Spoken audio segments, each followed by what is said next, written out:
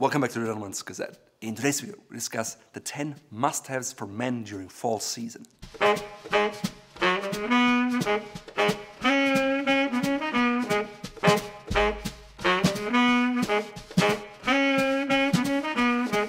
In my opinion, fall is one of the best seasons for classic menswear because you can add additional layers, such as wearing a vest, a sweater, or maybe an overcoat, as well as accessories in rich, subdued, earthy colors, which are just a joy to look at. It's also the start to the season where you can wear winter accessories, such as gloves, maybe unlined gloves, or you could go with lightweight scarves, maybe sweaters, vests, and all those things that usually don't make too much sense during the summer season. In the past, we already discussed 10 tips to create better fall outfits, and this video is an extension of that. So if you haven't watched it, please check it out here now. So what are the 11 must-have items for elegant classic gentlemen? Well, the first one is to wear an unlined glove. I know most people have lined gloves, and while that's fine, the advantage of an unlined glove is that it's very thin and it looks very elegant. Also, during the transitioning season, you don't need a cashmere lining or an alpaca lining because it would simply be too worn. At the same time, going without gloves is a little bit too cold, so going with unlined gloves combines the best of both worlds while giving you the chance to add some color to your outfit in an unusual way. Because I had a hard time finding unlined gloves, I simply designed them myself. I went with a very lean, slim cut that is very elegant.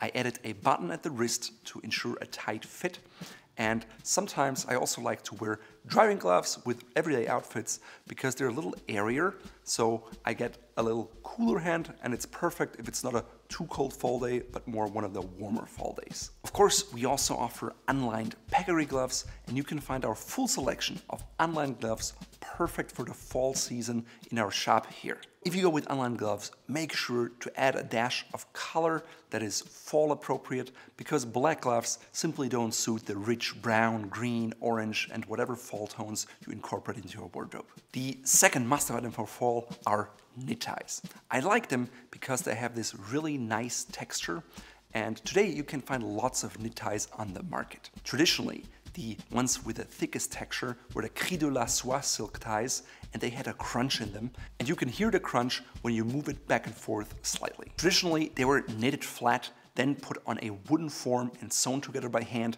That's exactly how we do our knit ties today. Most other knit ties you can find on the market are knitted like a sock in a round, and they're a lot more flimsy and they don't have the texture and the weft of the old school, old world quality knit ties. In terms of color, I suggest to leave behind the pastel colors and rather opt for something like bottle green, maybe a purple, or a bronze rust orange. Of course, you can also go with a tobacco brown, maybe a two-tone shade in cognac and dark charcoal, or a yellow. Because they add more texture, you can combine them with casual outfits, maybe such as a cardigan or a sweater, but you can also wear them with tweed coats, which are very elegant and stylish and very seasonally appropriate. Third fall must-have is a pair of suede boots. Now, boots are in general ideal for fall because they're lined with leather most of the time and they're not super warm. At the same time they keep you warmer than a regular pair of oxfords or derby shoes. I suggest you get them with a thicker leather sole maybe a double leather sole and you can go with lace ups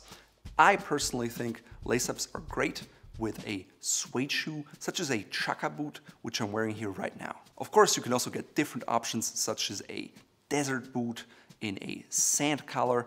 I think the most versatile one that you can incorporate in your wardrobe is a mid brown, maybe a chestnut brown, and the suede just gives it a softer character. If you can only afford one pair of boots, I'd suggest you go with something burgundy because you can combine it with a suit as well as with all kind of casual garments. Also, if you want to spice up the look of your boots, you can simply go with contrasting colored bootlaces because that way it looks like an entirely new boot and you just invest a few dollars rather than having to buy an entirely new pair of boots. If you're not into lace-up boots, maybe consider a Chelsea boot, which is a classic with an insert, and to spice things up, you can maybe add a colored insert. Fourth item every gentleman should add to his full wardrobe is a vest or waistcoat.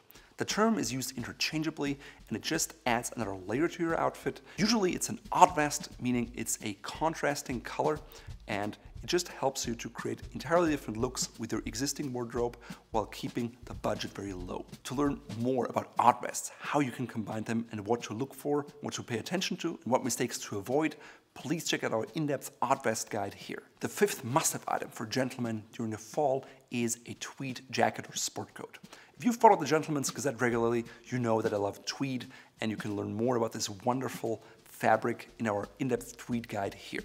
The beauty about tweed is that it's comprised of lots of different colors, and because of that, it may look like a solid from afar, but in fact, there are lots of different individual colors combined. Because of that, it's very easy for you to wear it with other colored garments, and it always looks like it works really well together. For example, here, I'm wearing what looks to be like a darker to medium brown tweed coat, but it has the same color as the pants, and it has just a beautiful warm depth of color. Therefore, the overall outfit looks very harmonious elegant, and seasonally appropriate for fall. Personally, I have over 12 tweed jackets. If you're just starting out, I suggest to get what is called a Donegal tweed, which means there are little knobs all over the place in a contrasting color, or maybe with a simple oatmeal colored herringbone tweed because it's a very popular pattern, it's very classic and you combine it with lots of things. The sixth item no man should be without during the fall season is the quilted jacket. It's so great because it keeps you warm, at the same time it's lightweight, and if you choose a length that covers your jacket, you can easily wear it on top without looking too formal. At the same time, you can wear it with casual outfits and you can just put it on when you go to the gas station or pick up some groceries. It's also lighter than an overcoat and easier to travel with. If you like something that's a little more formal, I suggest you get a trench coat with a removable interlining because that way you can wear it during the warmer days of fall in the beginning as well as during the colder ones later on. The seventh item you should invest in is a flat cap. It's a wonderful hat.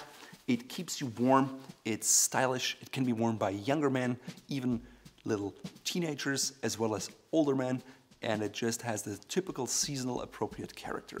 It's also less formal than, let's say, a fedora hat, and therefore it's a very easy entry hat. They're also not very expensive, they're usually made out of tweed, so they're easy to combine with other colors, and it's just a wonderful addition to any fall wardrobe. To learn more about flat caps and the intricacies, please check out our in-depth guide here. The eighth thing you should really think about during fall are wool accessories. I know most of the time ties are made out of silk, and that's just fine. At the same time, adding maybe a pocket square in wool, or a tie, or a flat cap simply helps you to create a softer looking outfit that is very appropriate for fall or autumn. Unlike silk, which is crispy and shiny, wool is softer and much more matte, which makes it very suitable for fall outfits. If there would be just one wool item I think every man should have, it's a woolen pocket square, simply because it helps to balance the texture even if you have an entire closet full of silk ties. At the same time, it's less expensive than ties, and so it's a great start if you don't have any wool accessories yet.